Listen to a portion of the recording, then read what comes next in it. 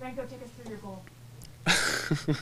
I didn't see it again, not even on the on the game, but it was throwing. We were work, working on it, on it all season. Uh, Joe, Jay can throw a long throwing, so uh, good flick by the Flo in front of their player. I don't remember which one, and I was just I had some feeling honestly that it's gonna bounce there because even before that there was one good flick, but Flo I almost get on it, but I didn't, and now I I got to it, and I'm so happy that I scored. About what uh, the last month or so has been like with this group.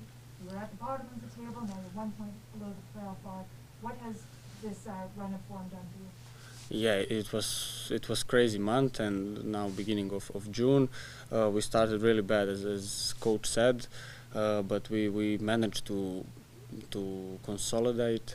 Uh, to we spoke on trainings, we spoke in the locker room. We said that we need to to start working more on the field, to be more more more team on the field, more compact, and it got paid.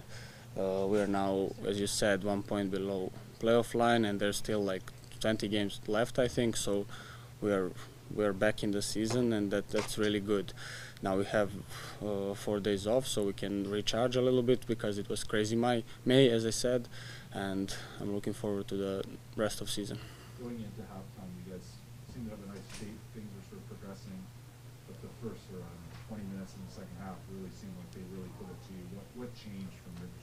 Yeah, you are right. The first 20 minutes of second half were really bad. because We conceded even uh, one more goal. Honestly, I don't know. We just we just came out like a little bit uh, too cautious about our goal. That was mistake. Uh, we we should have like uh, tried to press a little bit more, like first half.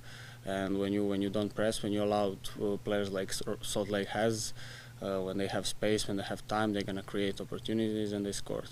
Thank goodness you have Cody too. I guess, right? Yeah, he was unbelievable. Uh, he's mean a lot. He's mean to us a lot. Uh, he has confidence. He's he talks a lot behind us that helps us.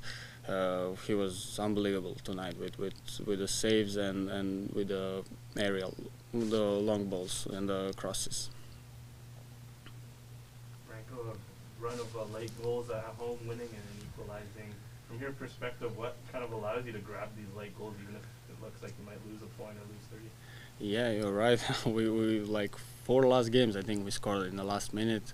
Uh, that's something. It just uh, I have a feeling like fans helps us a lot when we play here and.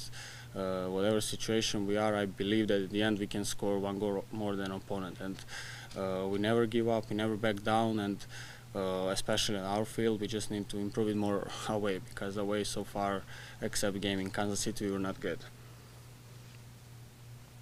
Good. Awesome. Okay. Thank you very much. Thank you guys.